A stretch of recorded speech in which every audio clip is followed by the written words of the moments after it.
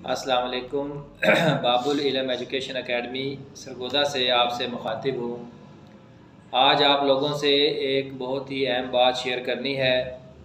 जैसा कि मैंने आपको पहले बताया कि आपका 2022 का एग्ज़ाम जो है, वो इन ताला हर सूरत में होना है और मुकम्मल सब्जेक्ट के साथ ही होना है। आप लोगों के जहन में अगर किसी किस्म की भी कोई ऐसी बात है कि कोविड की वजह से आपका एग्ज़ाम कैंसिल हो सकता है या आपके सब्जेक्ट जो हैं वो कम हो सकते हैं। तो इस बात को आप जहन से निकाल दें, कोई भी ऐसी बात या ऐसा मामला होने वाला नहीं है। आप लोगों की जो प्राइवेट स्टूडेंट्स हैं, इनके दाखिलों की तारीख आ गई है। आपके दाखिले 11 जनवरी से स्टार्ट हो रहे हैं और 22 फरवरी तक जारी रहेंगे।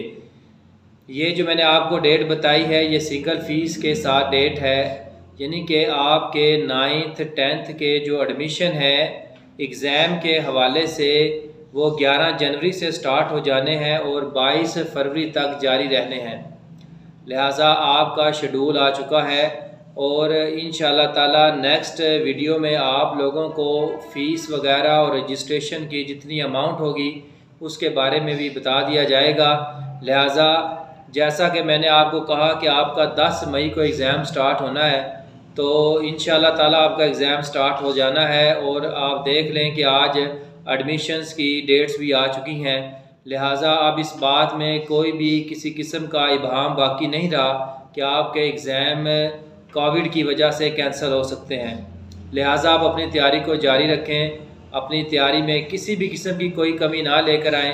इन ताला आपके पेपर स्टार्ट होने हैं, मई में, हर सूरत में एग्ज़ाम आपका स्टार्ट हो जाना है। पहले टेंथ क्लास के एग्ज़ाम होंगे, फिर नाइन्थ क्लास के एग्ज़ाम होंगे। पिछले साल की तरह नहीं होगा कि टेंथ के बाद सेकंड एफए का एग्ज़ाम आ गया, फिर नाइन्थ का। अब साथ ही नाइन्थ क्लास के एग्ज़ाम स्टार्ट हो जाने हैं। ये बात आप लोगों से शेयर करनी है, करनी थी। अल्लाह हाफिज़।